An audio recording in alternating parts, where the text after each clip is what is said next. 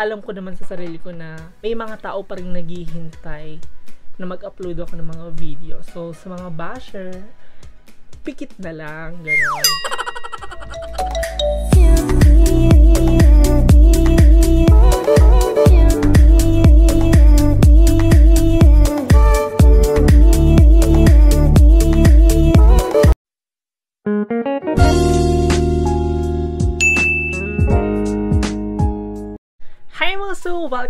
Again to my channel! Ayan, so muli po ako nagbabalik sa inyong harapan. Ika nga na lagi kong sinasabing, hining hindi nyo ako magpipigilan. Charot! So before we start, let's do the shout out! And so first, I want to shout out to Rian Ortines from Calamba, Laguna. Ayan, so mega mega shout out sa'yo. Thank you so much for always watching to my video vlog. God bless, stay safe, keep safe, and I hope to see you soon. Ayan, so kung naparoon nyo po yung ating last na in-upload na content which is makeup transformation of Miss Ivan Alawi. Ayan, so for today's video is makeup drama pa rin po ang ating eksena. Ayan, so requested by Jackie Mercado. Ayan, so may mga nagsuggest na gayahin ko daw po yung mga artista na gusto nila pero iisa-isahin po natin ito ha kasi po um, malalang dasalan ng ating gagawin para alam niyo naman na hmm, pagdating sa mga artista eh iba ang kutis, ibang hubog ng kanilang mga mukha at ganda. Ayan. So, for today's video about makeup transformation of Miss Nadine Lustre. Ayan. So, share ko lang is si Miss Nadine Lustre is minsan ginagamit ko na rin siya kapag uh, nasali ako sa mga pageant. Ayan, sa mga gay pageant. Ayan. So, kapag ka medyo morena ang atake ng makeup sa akin is si Miss Nadine Lustre ang aking ginagaya. Ayan. So, wala na patumpik pa, boom karaka-raka, then let's start! Ayan, so first, syempre is magpuproceed muna tayo sa ating skin preparation. Ayan, so para maganda ang lakat ng ating mga makeup sa ating balat. So, maglalagay muna ako ng cream. Ang gamit ko pong cream is still Yoko. Yan, paubos na siya. Ayan, so, any cream will do. Basta maglagay lang ng cream before mag-apply ng mga makeup, foundation, and etc. Para maganda ang lapat sa atin. Ayan. Then, after na mag-apply ng cream, mag-apply na tayo ng mist. Ayan. So, para makapit lalo ang ating makeup. Ayan. Para iwas agnas. Ganon. Charay. So, papatayin lang natin siya. Ayan. So, next is maglalagay na tayo ng ating liquid foundation. So, gagamitin ko itong ating L'Oreal. Sisimutin na natin kahit ubos na kasi sayang naman, oh. Hanggat may nakikita ako sa gilid sisimutin ko talaga yan. Sorry.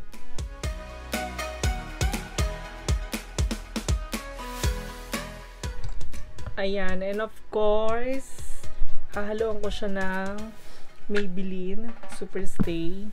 Ayan. And let's blend.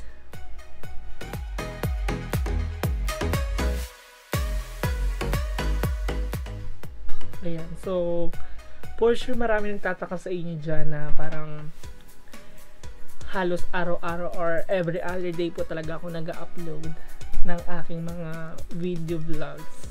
Yeah, totoo po yun. Kasi target ko po talaga is every other day mag-upload ako ng mag-update ako ng mga video vlogs ko sa YouTube kasi it's my passion, you know. Ayan, so sa mga naiirita na parang halos araw-araw nag-upload, pikit na lang po. Kasi, charot. Ayan, kasi syempre guys, di ba gusto ko rin mag-share sa inyo para kahit pa paano, meron akong ibabahaging kasiyahan at tuwa sa inyo kasi alam niyo namang lalot ngayon, balik MCQ na naman tayo. Oh my God.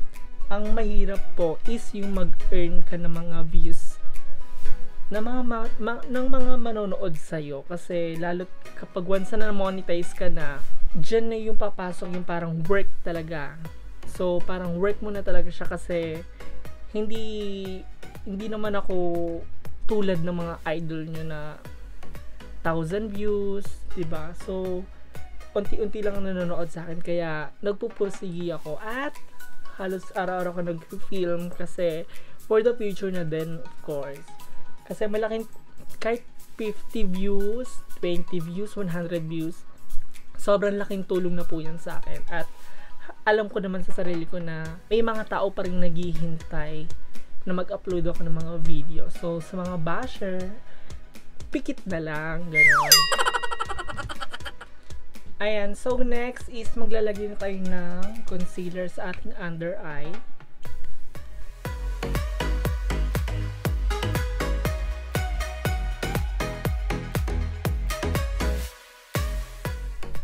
And let's blend it.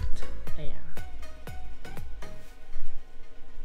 Okay, let's talk about pagiging vlogger. Ayan, so actually, mahirap po talaga, mag, talaga maging vlogger, lalo small YouTubers ka pa lang or small vloggers ka pa lang kasi kapag ka small vlogger ka like me halos bago ka ka-monetize ko lang una mo syempre i-earn is yung mga views so kailangan mo talaga magtyaga mag-upload ka na mag-upload hanggang hanggat maka-earn ka ng mga taong nanonood sa'yo ayan kasi po once na na-monetize ka na hindi ka naman agad-agad si sweldo dai kasi kailangan mo muna paghirapan yan. Or merong mga revenue na kailangan mong abutin para maka-earn ka sa iyong YouTube channel. Ayan, so hindi po ganun kadali kasi merong mga requirements si YouTube na kailangan mong gampanan at kailangan mong gawin or kailangan mong mapunan. Ayan. So, kung yung ang first requirements talaga ng YouTube para ma-monetize ka is to have a 1,000 subscriber or 4K watch hours. Ayan. So, umpisa ganun po. Pero kapag ka, ikaw naman ay na-monetize na, tulad namin, tulad ko ng small YouTubers,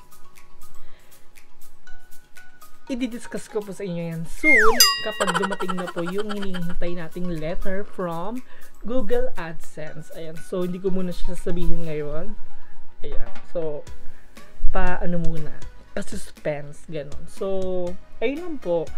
Kasi po, hindi po nasusukat talaga sa views kung magkano kikitain ng isang YouTubers. Kasi, sinusukat talaga yan sa mga hindi nag skip ng ads or commercial ads na lumalabas dito sa YouTube namin. Ayan. So, alam nyo na guys, don't skip ads. Ayan. So, kung makikita nyo, lagi po ako nilalagay sa unahan ko ng don't skip ads. Kasi, tulong na rin po para sa mga YouTubers. Ganon. Ayan. So, sobrang hirap din po talaga maging vlogger. Ayan. So, lalo kapag ka ikaw ay nag-uumpisa pa lang, ay die. Stress talaga. So, pero, hindi, hindi, mo maram, hindi mo naman mararamdaman ng stress kapag ini-enjoy mo lang yung passion mo, kung ini-enjoy mo lang yung pagiging vlogger mo or pagbibigay ng content sa mga tao, 'di ba? So kung passion mo talaga yung ganto, laban na laban ka. Pero kung you do this for wala, walang mangyayari. Although kahit kasama ng ganun, pero syempre dapat iniisip muna natin yung kung paano natin ma-share, kung paano magugustuhan at kung paano papatok yung gagawin mong content sa mga tao. Ayun lang. Ayan, so next is maglalagay na ako ng powder from Vice Cosmetic. Ito. Ayan, paubos na siya pero meron pa ako dyan isa. Pero malay mo, baka may mabait, di ba? Sponsor. Just message me lang. Charay. Ayan, so next is maglalagay tayo ng contour. Ayan, so gagamitin ko itong, itong aking bagong dating na glow and contour from Focal Lure. Ayan siya. So, kanina ko lang siya natanggap. And alit niya pala. Pero okay lang naman, mura lang. Pero dami ko kasi nababasang magandang feedbacks dito. Ayan, so cute. May takip siya. Opak. Ganyan. So, stick po siya mga so. Ayan. So, ang shade niya po is Contour for Brown. Ayan, number 4, Brown.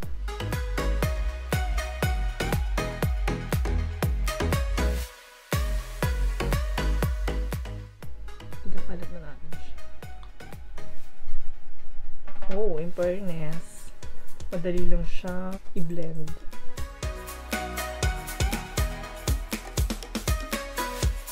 Maglalagay na tayo ng loose powder.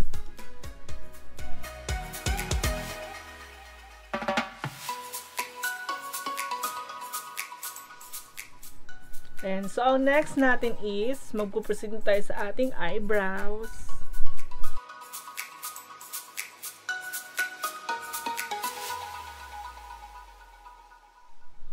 Ayan, so ang next is maglalagay na tayo ng concealer sa ating key line.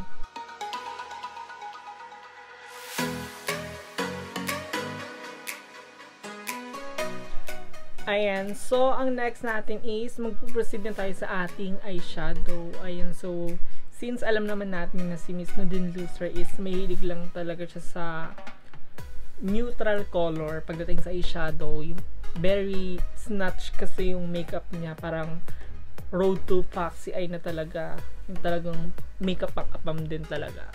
So, ayun po ang ating gagawin. So, Then, ang gagamitin natin color is ito pong dalawa. Paghahaluin ko lang to. Pag-mix lang natin.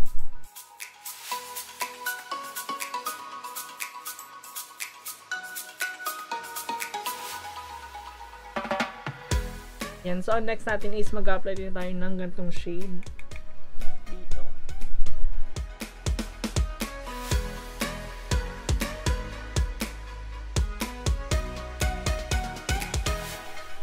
Then, let's proceed to our liquid eyeliner which is itong highlight kasi true by this is may snatch yung ating looks. Ayan. So, ayun talaga ang habol natin.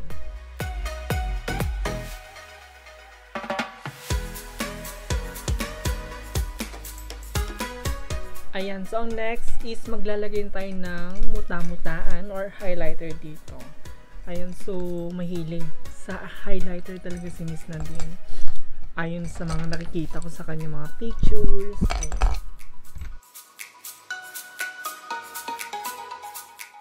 Then next is maglalagay tayo ng medyo brown dito lang sa unahan para medyo pag ganun ng ating mata. Ayan, so and the next is maglalagay tayo ng black eyeshadow pero i-blend out lang natin siya dito sa ating eyeliner.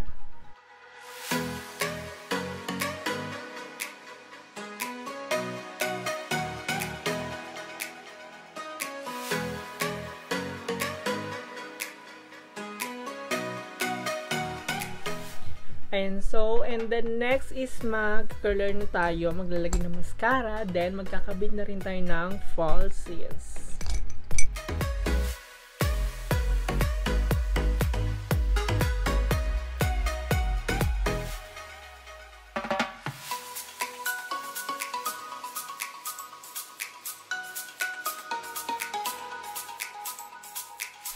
Let's proceed to our contour. Ayan, so for the hupyak, for the hupyakan tayo malasyo.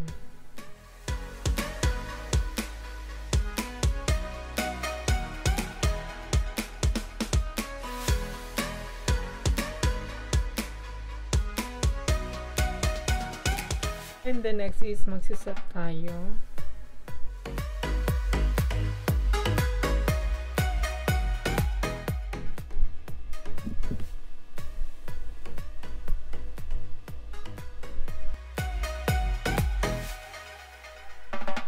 Then, magno-nose line na tayo.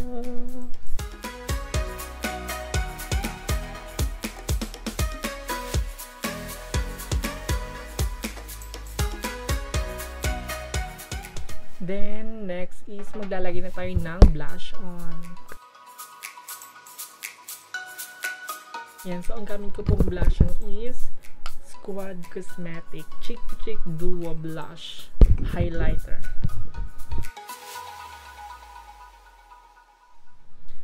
Ayan. So, next is mag-proceed tayo sa ating lipstick. And, ipifix ko lang po ang ating makeup. Then, uh, mag-aayos ng hair. Then, magpapalit ng dress. So, I'll right back. So, stay tuned!